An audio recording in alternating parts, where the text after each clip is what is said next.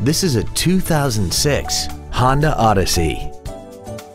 This minivan has an automatic transmission and a 3.5-liter V6.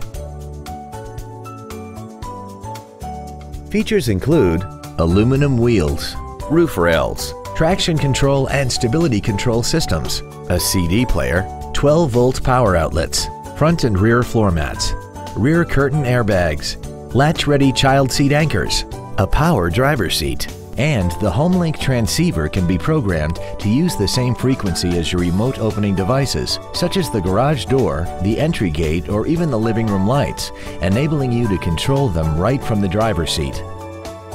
We hope you found this video informative. Please contact us today.